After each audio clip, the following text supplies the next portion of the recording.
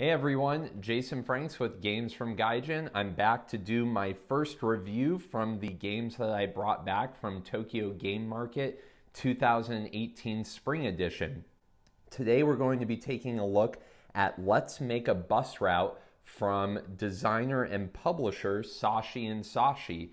You may know them from some of their very well received games, including the solo board game Coffee Roaster, as well as the very fun and stylized trick taking game Blend Coffee Lab.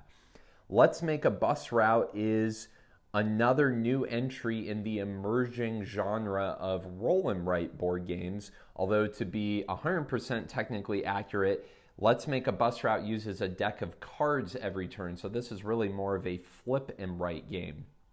I wanted to review this game first because I'm pretty sure it's my favorite game that I brought back from the convention and hands down one of the best games I've picked up here in Japan.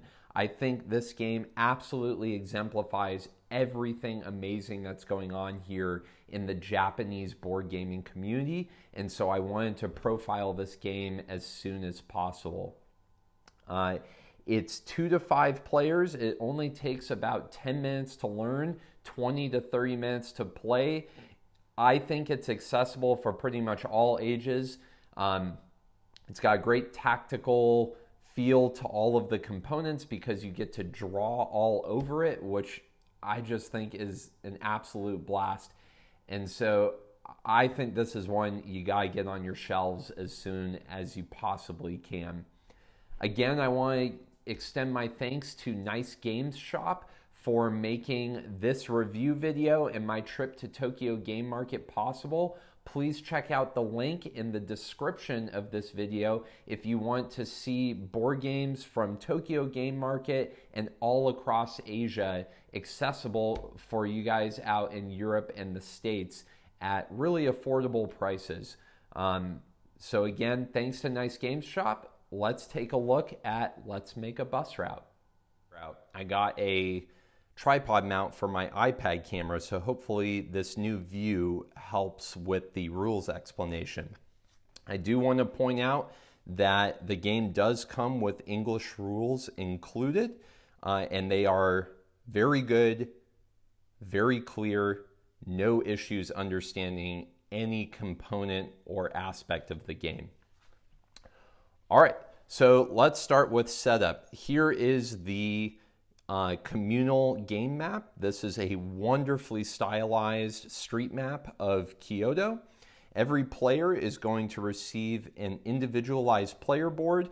The scoring is identical, but the colored movement correlations are different for every player board. And then there's the objective and turn board. So we're going to start the game by randomly selecting two of the objective cards. So We'll go with that one that just popped out and we'll do, say, this one here. Okay, then we set the rest of the objective cards aside and then we're going to shuffle up the five route bonus cards and deal one to each player. So I'll just deal myself one and leave it like so. And then we're going to take the turn cards, which also serve as the starting location cards. So each player gets dealt two. So my two are starting locations numbers 4 and 12. So I can look at the map. I'm going to take my player color marker and my two choices are intersections 4, which are right here, and 12, which is right here. So I'm going to go with 12 to start my game. As you can see, every player is going to get a different colored marker, and you actually get to draw your bus route on the map. Uh, it's really high quality whiteboard laminate, so you just need a little bit of toilet paper or paper towel, and everything wipes right off.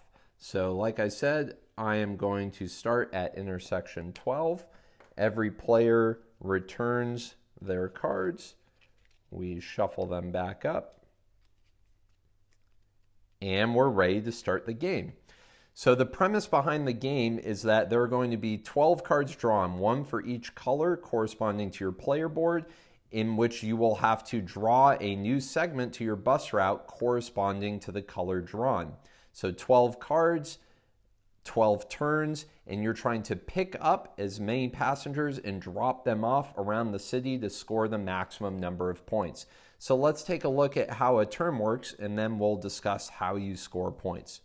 So the first turn, everybody would have to draw their purple segment. So my purple segment is two straight sections of my route. So let's say I'm going to go north to start. I'm going to pick up an elderly passenger. So I'm going to mark that off on my player board. And then I'm going to finish a green light.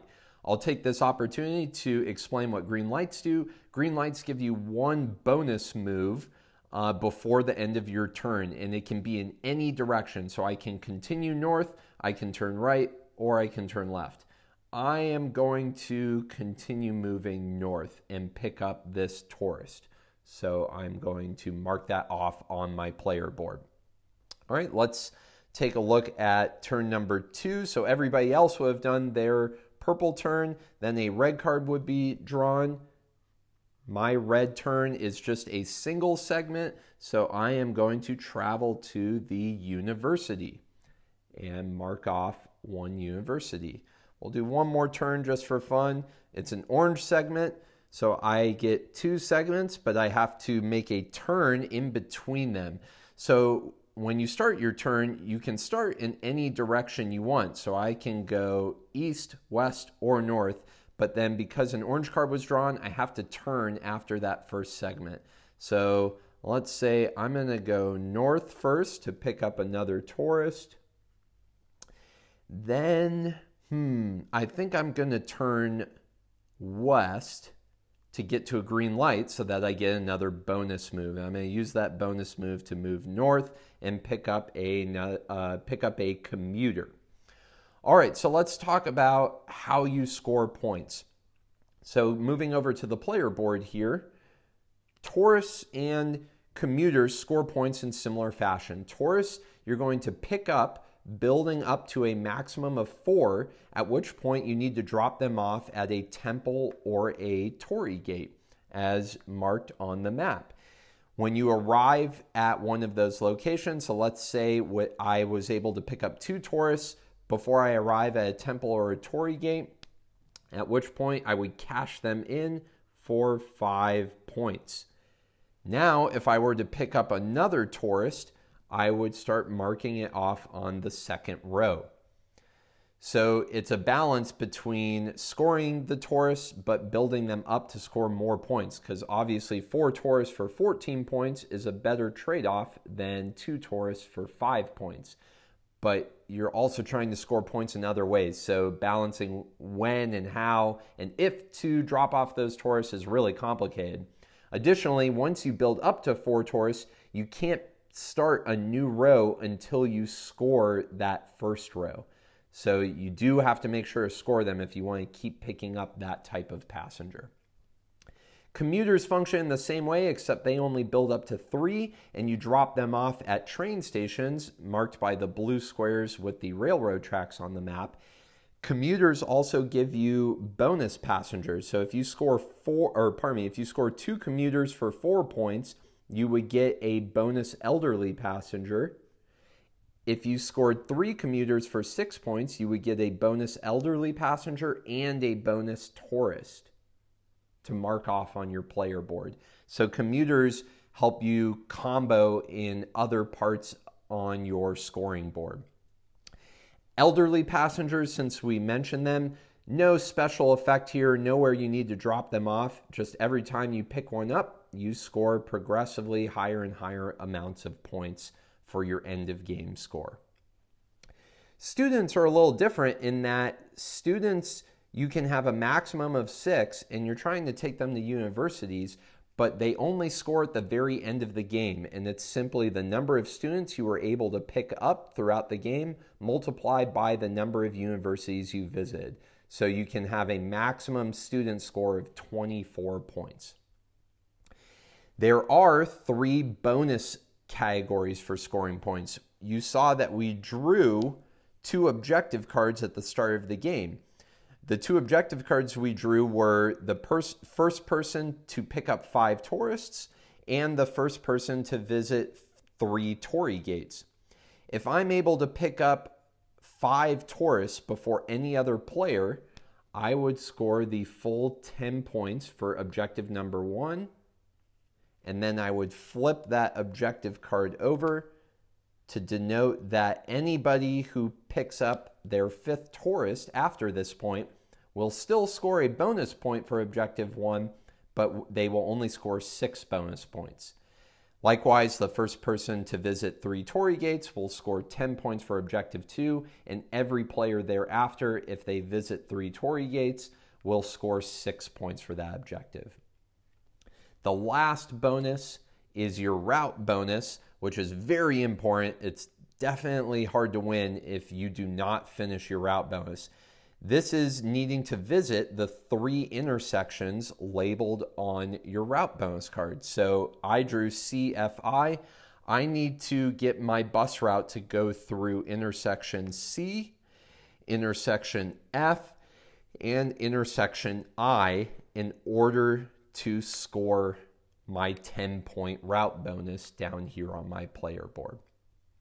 So, those are the five main ways to score points your tourists, your commuters, your students, your elderly passengers, and your two objectives and route bonus card.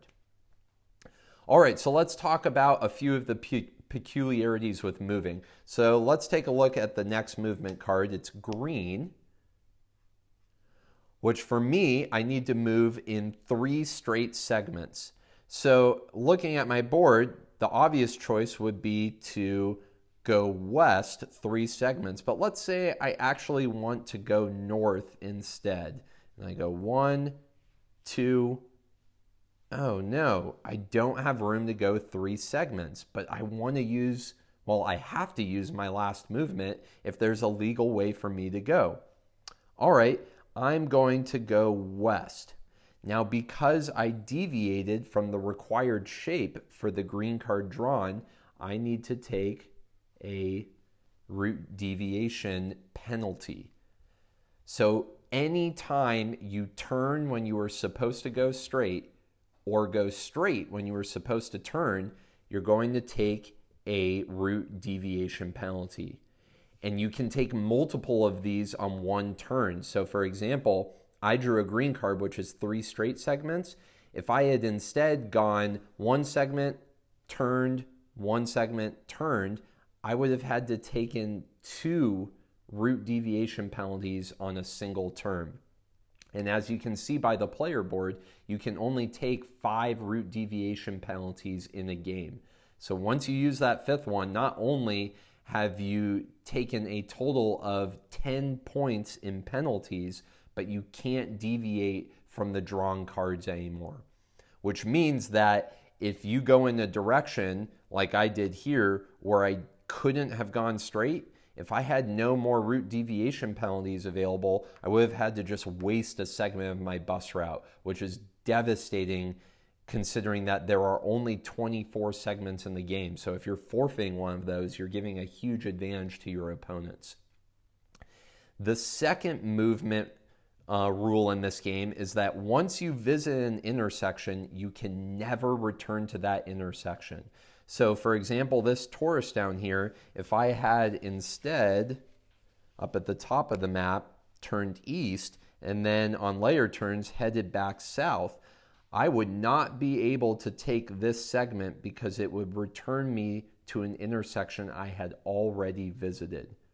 So once you visit an intersection, that's it. You're never coming back to that intersection. So those are the two main movement rules for let's make a bus route. So let's talk about getting into traffic. All right, so let's say that